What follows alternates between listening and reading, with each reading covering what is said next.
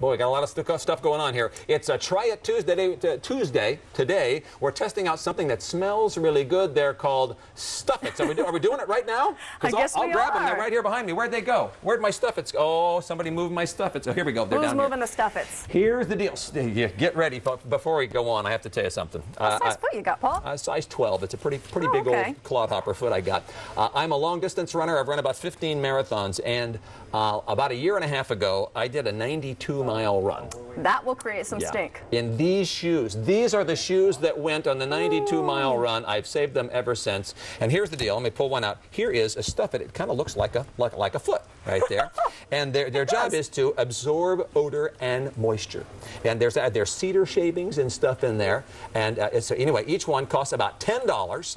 And the idea is you take them and you put them in whatever shoes that might possibly be stinky like that, and you leave them in there to absorb the moisture, absorb the odors, and Interesting. okay, pull back a little bit, Emmanuel. Let's just see if this baby works. Are you ready? This is all you, Paul.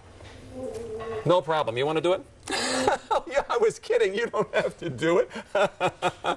you know, I will. Here's the deal. I, I, I don't have smelly feet. I, my, my running clothes get all smelly, but I, it's never been a big problem Oh, with me. okay, well, I, will, was going to say these things work, I will you tell you. know. Yeah, you know, we needed to get somebody. Oh, I don't know, like Emmanuel, the cameraman, uh, to uh, to give it a try. I just don't have stinky feet, but you know, they cost only ten dollars. It makes sense that they work. Well, does It's your got- shoe feel a little drier? Have you put it on? I, I had I had recently run before I put them in. I don't know.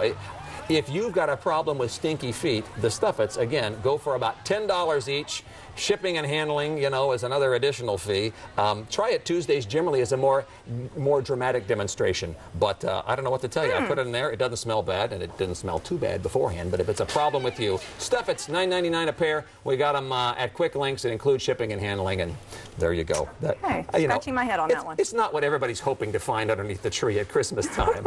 I will tell you that. Uh, there you go. I want to give it a try. Still ahead on Fox 40 Live. Whew, this was a long segment. Uh, the price of gas has come down. It's good news when you're driving, and it's also good news if you're flying.